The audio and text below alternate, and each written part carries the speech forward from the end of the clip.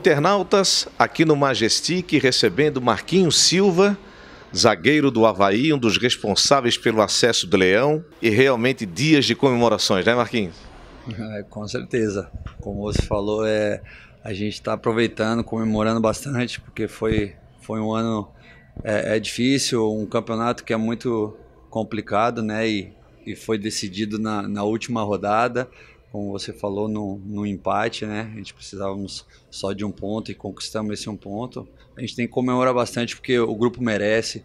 Foi um grupo muito aguerrido, fez um, um excelente campeonato, né? Se não me engano, de 38 rodadas, ficamos aí 26 na, no, no G4, então foi merecido. Quantos acessos na carreira? Esse foi o primeiro. Eu primeiro? disputei, disputei quatro, né? É, série B, né? Duas com o Guaratinguetá e, e uma no, no Figueirense e agora a, a do Havaí. Pode ser considerado um título? Sim, eu acho que é claro que quando você ganha um campeonato, que nenhum Fortaleza ganhou, claro que fica também é marcado até um pouco mais do que o acesso, mas uh, como eu falei, o campeonato é muito difícil e, e, até o Geninho brincava, né?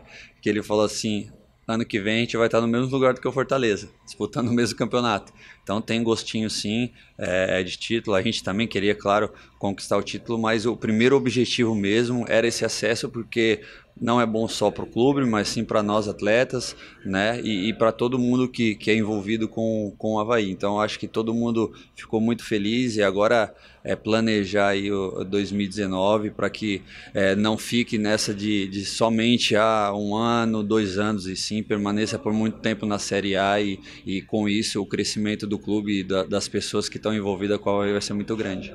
Telefone teu aí não parou? WhatsApp, família, amigos? Ah, muitos, muitos é, os amigos, é, familiares, todos que, que, que, estavam próximos, né? E, e viu é, o que eu passei nesse ano, né? E terminar o ano dessa, dessa maneira, com certeza. É, teve muita gente, é, eu fiquei aí uns dois dias para estar tá respondendo realmente a todos, porque um carinho enorme dos do meus amigos, companheiros de trabalho, familiares, amigos fora do futebol, todo mundo parabenizando, porque é, sabe da, da luta que, que eu tive, não só dando os parabéns pela conquista, mas também pelo fato da, dessa luta que eu tive aí nesse ano. Para quem não viu, vamos mostrar o momento da comemoração no gramado e que vários torcedores no entorno do Marquinhos Silva levam ele junto, ele já estava machucado no jogo, eles vão empurrando o Marquinhos, comemorando, e você confere essa imagem agora.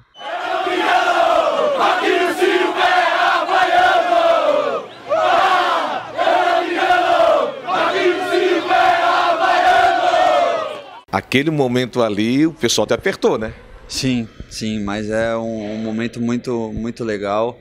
É, eu também até agradeço por esse carinho. Eu nunca tinha havido é, passado por, por isso, ter um carinho tão grande é, do, do torcedor, tão próximo assim, né?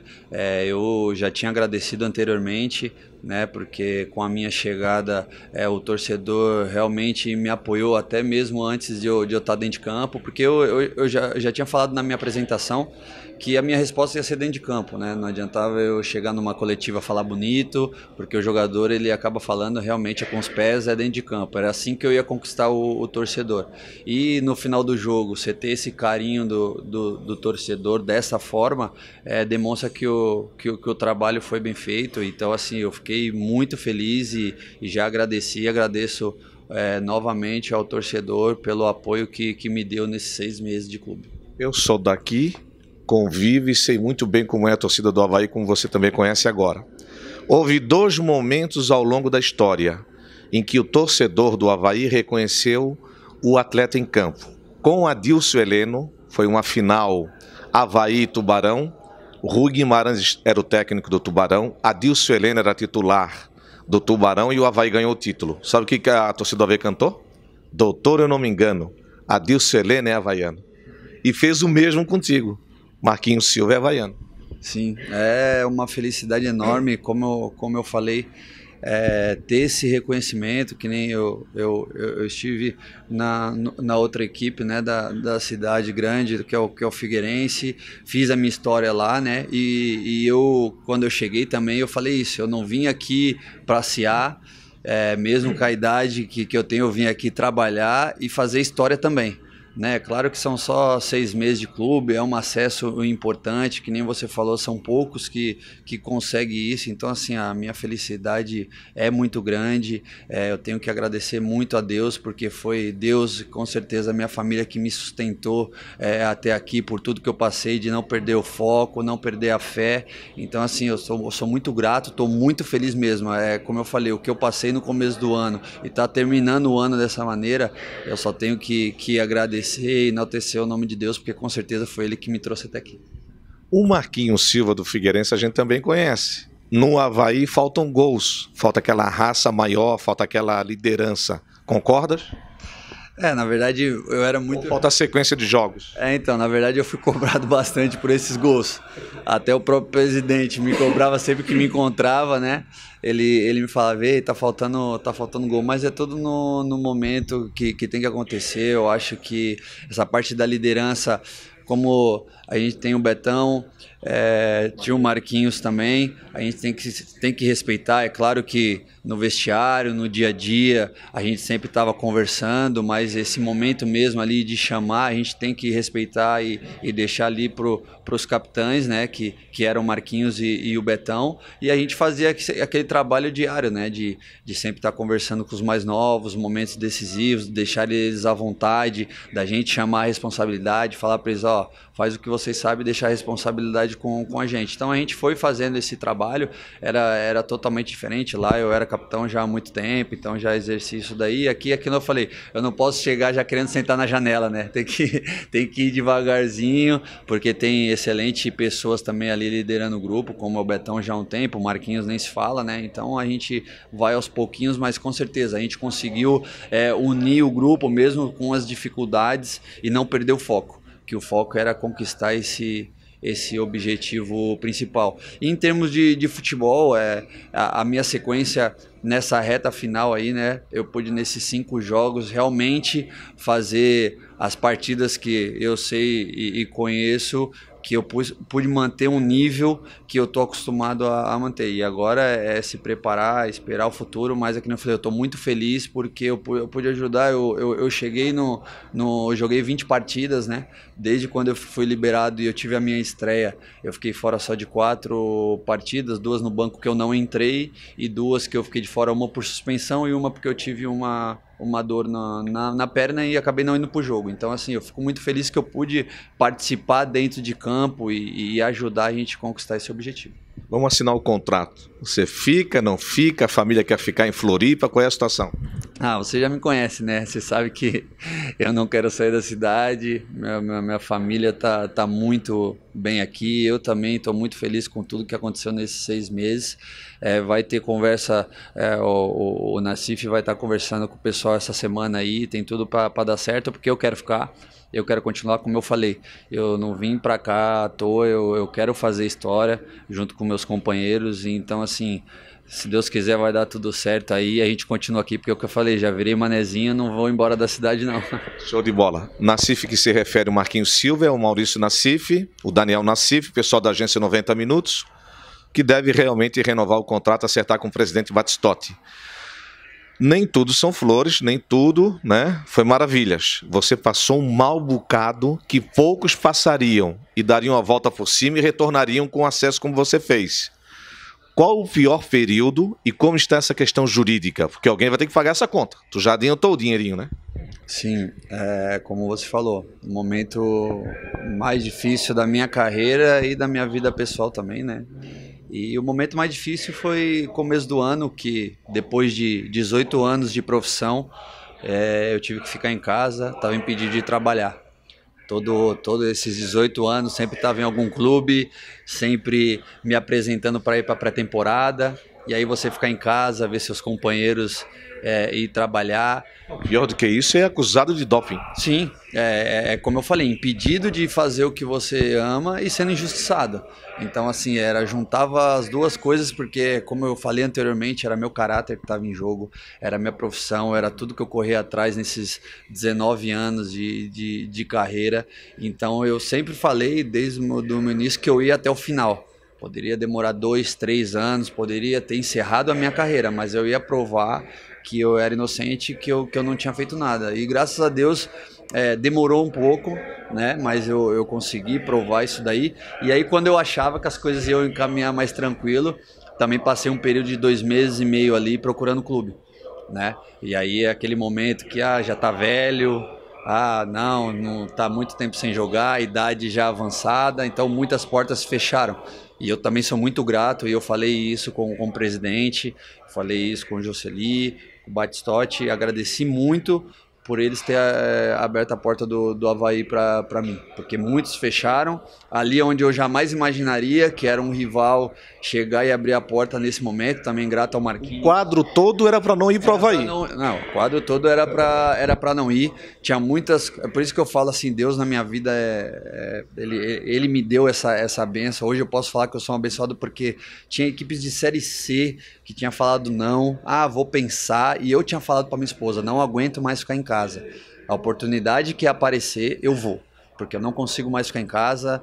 E, e aí foi sempre que, ah, não, a gente vai ver. Aí falava com o treinador, falava com o diretor, ah, a gente vai te dar uma resposta. E sempre encaminhando até que apareceu a oportunidade. Aqui no Havaí também, eu não era a primeira opção, tinha uma outra opção que aí o menino veio fazer exame, não deu certo, porque estava com problemas físicos. E aí que, que vieram realmente atrás e a gente sentou e, e, e acertou. Então, assim, eu fiquei é, muito feliz por tudo que eu tinha passado e Deus estava abrindo uma porta de um clube tão grande como o Havaí e com a oportunidade de chegar e fazer história, porque a equipe já vinha bem na, na no campeonato, né? Era início, mas já estava ali brigando lá em cima. Então eu sabia que tinha essa oportunidade. E vim muito feliz, trabalhando, que nem o início também não foi fácil, ninguém sabe. Mas o meu período de transição, que eu cheguei, eu tive que fazer um período de transição para ser liberado a treinar com o grupo. Eu senti nesse período de transição, não falei com ninguém. Eu senti a minha coxa. Na verdade, eu falei com o pessoal do clube. Eu cheguei no médico e falei, doutor, a gente vai fazer exame. Se der alguma lesão, eu vou embora. Porque eu sei o meu peso da minha contratação, o que o presidente está tomando na cabeça. Se chega agora, antes de eu começar a treinar com o grupo, eu falar que eu tive uma, uma lesão, vai cair todo mundo em cima da cabeça do presidente. E aí eu fiz um exame, deu só um edema, eu fiquei três dias sem treinar ali, só fazendo uma coisa mais leve, e voltei a treinar. E aí foi tendo a oportunidade e deu o que deu. Então, assim, eu sou muito feliz com tudo que, que aconteceu na, na, na minha vida hoje. Eu, eu cresci como pessoa, como homem, por, por, essas dificuldades, né? É na dificuldade que a gente acaba crescendo. E não só isso, mostrou que há erros também no doping. Sim. Porque tu não se dopou. Sim. Tu foi prejudicado. E então há erros, não é 100% de acerto. Sim, não. E, e, e, na verdade, assim, a gente. Eu fui atrás e conversei com muitas pessoas, com atletas. E o que me chamou muita atenção aconteceu com o Alexandre, né? No Palmeiras. Ele provou, ele mostrou que eles tinham se é, enganado com a substância, que era uma substância que ele tinha usado num shampoo. E ele provou lá no, na audiência dele que, que, tinham, que eles tinham se enganado. E mesmo assim eles chegaram e falaram: ah, tudo bem, então não vai ser quatro anos, não, vai ser dois. Então, assim, é, até na época eu falei é, do, do, meu julgamento, o, o, pessoal lá do tribunal falou para levar adiante, porque acabavam é, com muitas, já acabaram com muitas carreiras, porque o jogador não teve condições de pagar advogado, de pagar exames como eu paguei, e aí o, o cara acaba abrindo mão, porque fala, não tenho condições, o que, que eu vou fazer? E acaba acabando com a, com a carreira. Quem vai te ressarcir? Então, eu vou, minha advogada, eu tenho um período, né, de, de cinco anos, para mim poder entrar. Então, quando eu estiver tranquilo, parar de jogar, já está tudo certo, ela vai, ela vai entrar e vai correr atrás das pessoas realmente responsáveis, porque como você falou, não só o dinheiro que eu gastei, né, mas o tanto que eu fui prejudicado, tanto que a minha imagem foi prejudicada, porque muita, uma dúvida e a e você é condenado Isso, você é condenado antes. Na verdade é isso. Porque sai uma matéria, na verdade saiu um monte de matéria falando lá, se colocasse na, no Google, Marquinhos, zagueiro, ia sair pego no DOP. Quando eu fui absolvido, tinha uma, uma linha. Uma linha. Então, na verdade, fica isso. A bomba vem na capa. Depois uma notinha lá dentro na última página. Isso mesmo. Então a minha imagem sim foi prejudicada. É como eu te falei, o pai de família, o homem, o meu caráter estava em jogo. Não era só o jogador de futebol, porque meus filhos, minha filha maior sofria na escola já tem 12 anos, os amiguinhos já brincavam, já falavam para ela. Meus menores não, mas aí era meu filho perguntando: e aí, quando que, pai, o que, que aconteceu? Você não vai mais jogar? A gente não vai entrar mais em campo com você?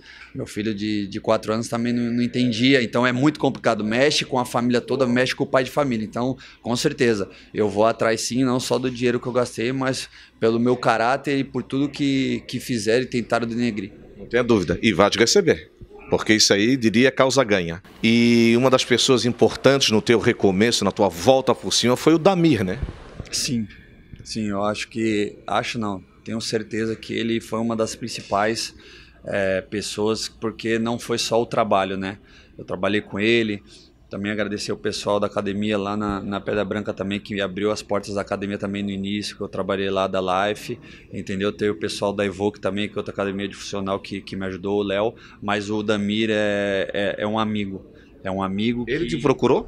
É, na verdade, ele me procurou, né? E a gente começou a trabalhar junto e é que, como eu falei, não era só o trabalho. Tinha dia que ele me ligava, ele via às vezes que eu estava é meio tá? triste, tá? como é que você tá? Pô, não, vamos. Ele chegou e conversou com o pessoal de um campo, para ah, não, vamos fazer trabalho no campo também, para não ficar fazendo só trabalho em academia, só funcional. Pô, eu fui treinar com ele na, na beira-mar de São José, entendeu? Sete horas da manhã. Isso ninguém vê. Não, é, isso ninguém, ninguém vê. Fui treinar com ele, porque ele tem os horários dele, as turmas dele. Ele, como ele mora próximo, né? A gente foi treinar às sete horas da manhã no campo de várzea lá da, da, da, Palhoça. Aí depois no campo não deixavam a gente treinar mais, porque falavam que estava estragando, que ia ter campeonato. E aí ele colocou eu para treinar no condomínio dele, no, no campo que tinha lá no, do, do, do, condomínio dele. A gente começou a fazer os treinamentos lá. Então, assim, eu sou muito grato a ele, porque não era só o trabalho, ele procurava. É, é isso, ele estava preocupado com o ser humano também, como a gente é amigo, ele de conversar, chegar e falar, cara, não desiste, estamos juntos, amanhã a gente vai treinar. Às vezes ele procurava trazer uns meninos para treinar comigo, porque treinar sozinho é complicado, né? Então ele trazia uns meninos para treinar junto, uns amigos deles. Então assim, eu sou eternamente grato por ele, porque também através dele foi que teve o primeiro contato com o Marquinhos. Foi o Marquinhos que, que acabou me levando né, para lá, porque ele ficou enchendo o saco do presidente, né, através do filho dele também, que o filho dele trabalha com, treina com o Damir. Então o Damir conversando com o filho, conversando com o Marquinhos, o filho ficou foi ali pra, e ele pegou e foi. Então, assim, sou eternamente grato a ele, porque ele não só me deixou focado é, tre em treinamento, mas também com a cabeça boa. Você machucou na hora do durante o jogo com a Ponte Preta? Porque o Betão fez um sinal, achei que era o Betão que ia sair, apontaram para você. Deu algum problema ali? Sim, na verdade, acho que uns 25 minutos, quando eu subi numa bola, na hora que eu apoiei minha perna esquerda, eu acabei sentindo uma fisgada na, na coxa. E aí eu falei com o banco, pedi pro pessoal falar pro Ayrton, né, aquecer. E aí eu continuei no jogo, mesmo com dor. É, eu continuei o primeiro tempo ali. Eu falei, ah, vou pro vestiário, não vou sair no jogo aqui, só se realmente meu músculo aqui estourar e eu não conseguir nem ficar em pé. E aí eu levei assim o primeiro tempo. Quando a gente foi pro vestiário, o doutor me examinou e aí ele quis me tirar do jogo porque ele falou que realmente a musculatura estava muito dura, tinha dado meio com uma contratura e ele falou vai estourar, vai rasgar. E eu falei, doutor, deixa rasgar, mas do jogo eu não vou sair não. E aí eles me deram injeção, colocaram as fitas, e aí era mais na hora, no momento de bater na bola mais forte, dava um pique mais longo, que eu sentia dor, mas é, o Betão ali eu já tinha avisado ele, coisa suportável, né? E depois eu fiz o exame, realmente deu um grau 1, que é uma, como se fosse um edema que, que deu. Eu estou até fazendo tratamento essa semana que o pessoal ainda está lá no clube para mim já ficar zerado, mas eu tinha brincado eu falei, cara, né, só se eu, se eu, não conseguir ficar em pé, se estourar realmente o músculo, que eu não conseguir nem andar, que eu saio desse jogo. Porque uma por tudo que eu passei e outra, um jogo como esse, jogo decisivo, todo jogador se prepara para esses jogos assim. Então eu falei, não vou sair e graças a Deus consegui ficar até o fim. Grandes momentos que tem na tua memória que, puder, que você possa relatar agora, da homenagem, da, da festa, o que está marcado para ti? Olha, com certeza a, a invasão do, do campo, é, o carinho do, do torcedor, né? ali eles cantando a, a, a, música, muitos agradecendo, muitos vindo é, chorando, é, me abraçar e agradecer pelo que eu tinha feito, que eu tinha conquistado o carinho deles. Acho que isso daí não tem preço. Eu acho que não, não tem preço, porque a gente sabe é, como é, é grande a rivalidade, né? E torcedor é paixão, não tem jeito, né? Mas é você receber esse carinho, ver criança, ver adulto chorando e te agradecendo pelo seu trabalho, por dar felicidade, isso aí não, não tem preço. Isso que vai ficar é, gravado na, na minha memória, porque, como eu falei, a gente trabalha para viver esses momentos de, de reconhecimento e ver as pessoas felizes com o que a gente vem fazendo dentro de campo. Então, assim, com certeza a imagem da, da invasão do torcedor e esses torcedores vindo a, a agradecer agradecer pelo trabalho, chorando, e o, e o lance da música também vai ficar gravado para sempre. Imagens do Rodrigo Polidoro, que captou muito bem e que isso aí fica para a vida toda. Vais para São Paulo, passas a virada de ano lá e volta? Não, eu passo aqui. Eu sempre passei aqui. Eu vou a São Paulo só resolver algumas coisas. Já está há cinco anos, né? Já, já. É o quinto ano já. E aí eu vou a São Paulo só ver os amigos, resolvo algumas coisas lá e venho para cá. E às vezes meus irmãos passam, vêm para cá também para passar junto, às vezes eles passam passam lá com os, com, com, os amigos, né? Na verdade, só tenho meus dois irmãos, né? De, de família lá. Jogo mais do que tu. Paulo. Hã? Jogo mais do que tu. Não, não, não. Toda a família tem um irmão que joga mais do que o profissional. É, é verdade. Mas meu irmão até tentou também jogar, foi até as categorias de base ali juvenil do Corinthians, depois rodou e, e, e parou.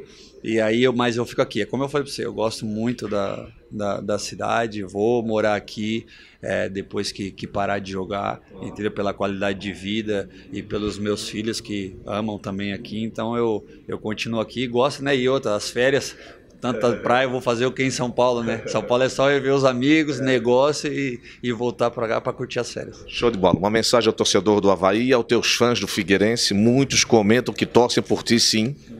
Não é porque você veio para o Havaí para o rival que eles não vão deixar de torcer. Tem muita gente que gosta de ti que é alvinegro. Não, primeiramente eu quero agradecer a todos. Né, como você falou, no momento difícil também eu recebi muitas mensagens do torcedor é, do Figueirense, estava junto, que acreditava né, na, na, minha inocência. Então eu quero agradecer esse carinho, esse carinho mesmo depois é, de eu estar tá jogando no, no, rival, de eu estar tá no, no, no Havaí, estar tá conquistando o acesso. Recebi mensagens também, então eu quero deixar grato. Eu acho que isso daí é fruto de um trabalho né, que, a, que, que a gente fez. E para o torcedor havaiano, assim, ó, muito, muito obrigado mesmo por ter proporcionado isso daí. Como eu falei, foi com certeza uma das maiores emoções minha como profissional. Isso é como a gente estava falando aqui, que não foi um título, né? Mas a comemoração do torcedor, o que eu passei com o torcedor, é, foi a primeira vez e é inesquecível. Então, assim, eu queria agradecer é, esse carinho que, que eles tiveram comigo em seis meses de clube, né? E como eu falei, espero que tudo dê certo, que eu possa continuar ano que vem junto com com esses novos companheiros, a gente fazer história, buscar títulos, porque é como eu falei, eu vim para cá em busca disso, de, de, fazer história, de colocar meu nome é, na história com humildade, com trabalho, junto com meus companheiros e é, espero que dê tudo certo e ano que vem a gente possa estar tá junto e comemorando também aí é, títulos, é, campeonatos, um campeonato série A sólido e procurando coisas maiores. Então, assim, é, é, é agradecer e esperar que 2009 com certeza seja melhor. Parabéns. Obrigado, eu que agradeço.